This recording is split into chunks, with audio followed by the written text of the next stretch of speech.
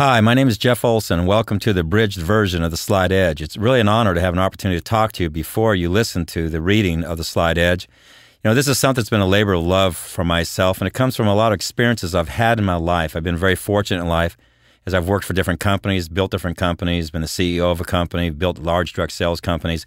Uh, through those experiences, I've seen a lot of things that work, and I've seen a lot of things that don't work. And what I've done through time has always kind of been a student of what makes that happen, and that really is the product that created the book, The Slight Edge. What I'd like to do now is give you some insights uh, to the Slight Edge, how I see it, but more importantly, right now, I'd like to just describe how it came about. I think if you kind of have that frame of reference as you go through the reading of the Slight Edge, you'll have the the insights and the awareness and the kind of the framework to understand what we're trying to do to make the Slight Edge work for you.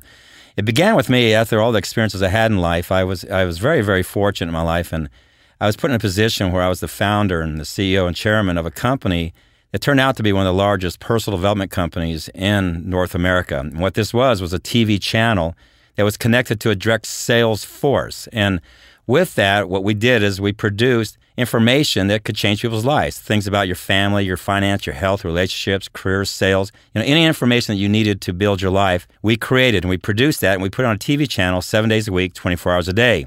At the other end, we had a direct sales force. And these are people I called the choir, people who really believed in personal development. We connected the two to create a company that would take information to people. And so that was our goal.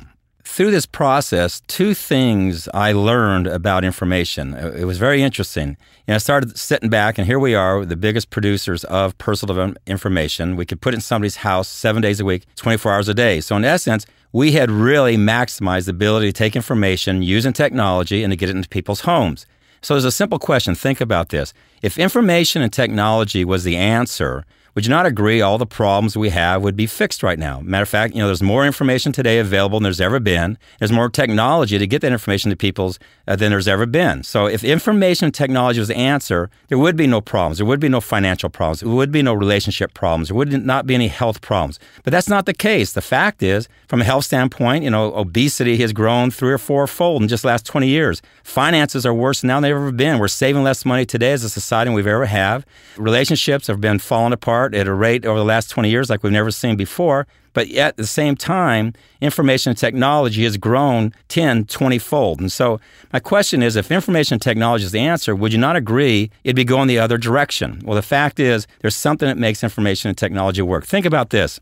If information technology was the answer, what I'd do is I'd walk up to, say, an alcoholic. I give that alcoholic, uh, Alcoholic Anonymous CD. And I say, Congratulations, you're no longer an alcoholic. Because what I did is I took information and I gave it to him through technology. But if that was the answer, he would be fixed, right? Well, that's not the answer. What makes information work is that when you put it in the proper environment and associations, what makes Alcoholic Anonymous works is not because you just give them the information and technology. You have to have that, that expands it for them, but you have to change their environment and associations. So that was my first goal. The first thing I learned in building that company is it wasn't just good enough to get information in people's hands. It wasn't just good enough to use technology to expand people's awareness. You had to put people in the proper environment and proper associations to make it work. So that was number one. And that was really the beginning of my thought process for the slight Edge. After that, the other thing I learned, and this is very, very interesting, here we were with all this information technology, driving it into people's minds, put them in the proper environment associations to absorb that information. But again, I'd watch these people, the sales force, people who were really were believers, or again, what I called the choir, what I saw is for many, many, many of them, actually most of them, it still didn't work because what they didn't have, in my opinion, was a processor. And that was really where the Slight came from. They did not have the ability to take that information,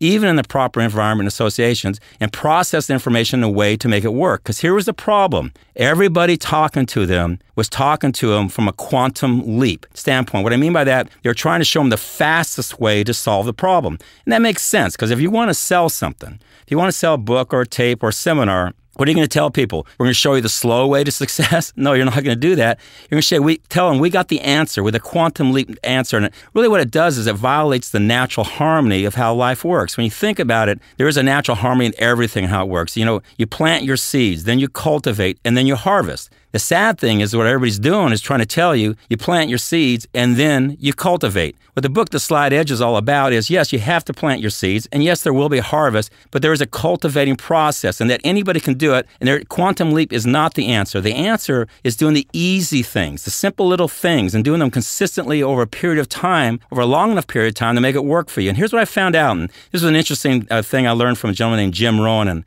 I reflect off Jim Rohn a lot in the book The Slight Edge. He said there's, you know, everything to be successful in life is easy to do. He also said that it's easy not to do. And I found that very interesting. If it's easy to be successful, why are most people not successful? Because it's easy not to be successful. What he talked about is all the time you have decisions you have to make. And what successful people do is they make the simple little decisions, the simple little disciplines, make those decisions consistently over a long enough period of time. So literally the compounded effect kicks in. What most people do, though, is they make the simple error in judgments. They take those decisions, things that they can do that are easy for them to do, but they make the simple decision not to do it because they believe it doesn't matter at that moment in time. And that's what the book, The Slight Edge, is all about, is that your decisions do matter. Every decision you make every single day does matter. Every decision does compound either up or down. Every decision is either going to take you to success or it's going to take you to failure. And it's happening every single second of the day. so that's what the book, The Slight Edge, is all about. You see, what I have found through my experiences and observations is that most people live what I call an action oriented life. And that's good. You got to be in action. You got to be in movement to be successful. You know, everything that's uh, directed at you, all advertisements are about action. All books and tapes that you read or listen to are about action. But the truth is, if it's just action oriented, what we do is we tell you how to be successful. We just tell you how to be healthy. We just tell you how to have relationships. We tell you how to have financial independence, and it would happen. But there's two things that have to happen before the actions work for you. And this is very, very important. And again, this is the foundation to the slight edge. And what I mean by that, to be successful, you have to have good philosophies, first of all. Philosophies is everything you know. It's everything you know, how you hold it, how it affects how you think, and how it affects what you do. Your philosophies will turn into your attitude. If you have good philosophies, you'll have a good attitude. Your attitude then direct your actions. Now we're at actions. If you have a good attitude, you have good actions. Good actions turn into good results, and good results turn into a good lifestyle. So think about it. If somebody has positive philosophies, again, that comes from the books you read, the tapes you listen to, and probably most importantly, the people you associate with. You have good philosophies that will turn into a positive attitude. That will turn into positive actions, which turn into positive results, positive lifestyle. But if things aren't happening for you, if somebody's out there and they're going through the actions, they're doing the, the actions they're supposed to do to have success, but they're not have success, usually if you look backwards, what you'll find is they don't have good philosophies. They don't have good information driving the way they think. It's turning into a negative attitude, and they're taking that attitude and doing the actions wrong. Those actions are turning into bad results, turning into a bad lifestyle. So, what I've always suggested to everybody, and this is real critical, what the slight Edge is all about is getting you to create this processor so you can take this information, this abundance of information that's available. There's more information again today than there's ever been. There's more access to information through technology there's ever been. And taking that information and making it work for you. But to make that happen, you have to have what I call, again, the processor, or you have to have what I call the philosophy and attitude. The slight Edge is a philosophy. It's a way of looking at information and processing that information so that you have a good attitude that now takes those actions and turn them to good results. It's always been very interesting for me to see seemingly two very, very similar people. And I've seen this over and over in corporate America, and small business America, and businesses I've owned and businesses I've run. I've seen people very, very similar to each other, having the same product, the same company, the same opportunity. They're being trained in the same actions. They basically have the same ability to do the same actions. One person takes those same actions in the same marketplace, the same product, the same company, and they have success with it. And the other one takes the exact same thing seemingly the same quality of a person and they don't have success.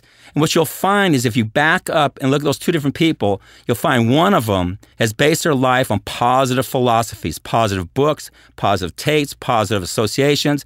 That's created a positive attitude. The other person has made a bad, slighted decision. They've made a decision that that information really doesn't matter. That you know that the people they associate with doesn't matter, and it's turned into a negative attitude. They don't even know it exists. That attitude affects their actions. It's so slight you can't even see it, but eventually that compounds over time, turns into bad results, and they have a bad lifestyle.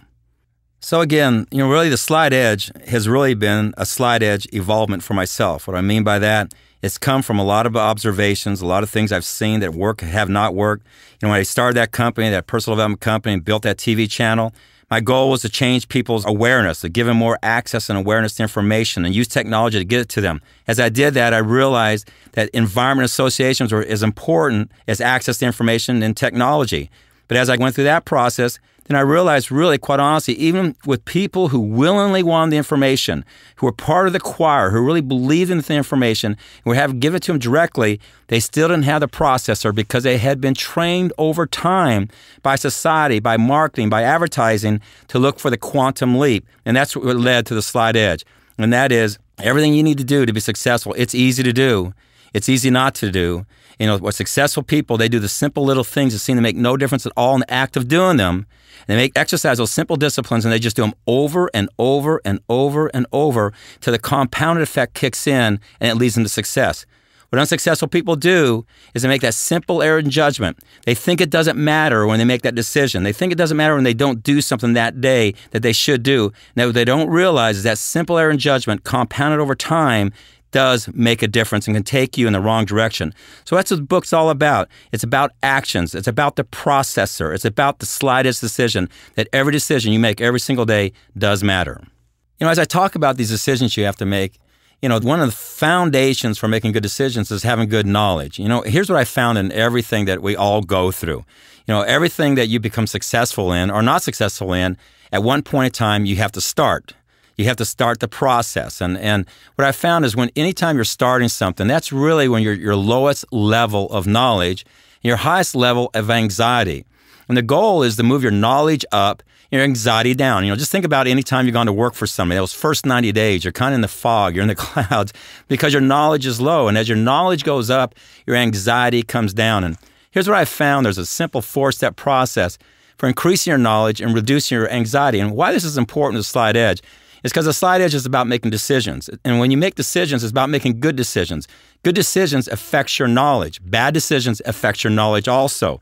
And the question you have to ask yourself, do you want to have good knowledge growing or do you want to have bad knowledge? You know, your knowledge can grow. If it's bad knowledge, it's not going to really relieve your anxiety. It's going to create more anxiety. So you have to have, again, another process or something in your brain it's teaching you all the time how to grow your knowledge. And so I've gone through a four step process. The first one is what I call learned knowledge. It's pretty obvious.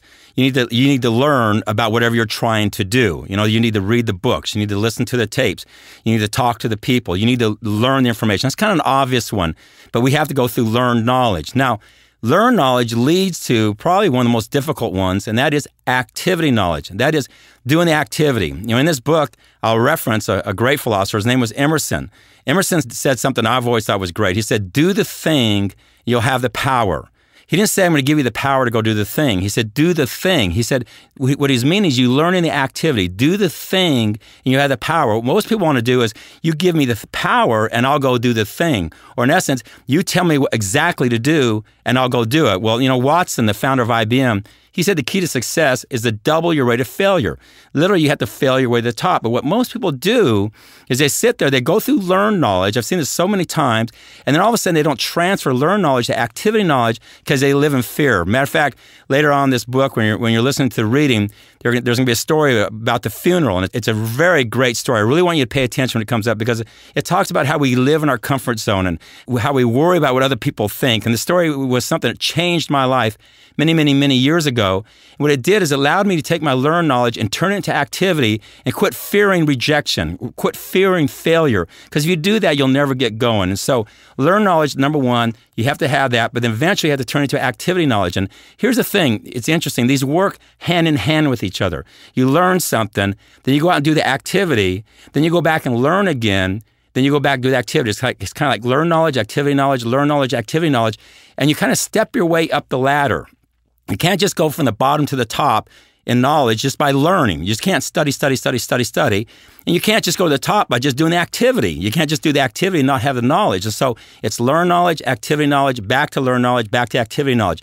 It's always been very interesting. I can take a book read a book, and I can put it on my shelf. I can come back and read that exact same book a year later, and it's as if somebody snuck into my place, rewrote the book, because what's happened to me is I've gone out in life, life's experience has affected me, the activities I've gone through, so that I go back and reference the same book I read a year ago, it's different. So I'm stepping up the ladder. I can take the exact same book and go from learn knowledge to activity, go back to that same book, learn knowledge, and I go back to a higher activity. So learn knowledge and activity knowledge work hand in hand. And what that leads to, and this is very, very important for being successful, is modeling knowledge.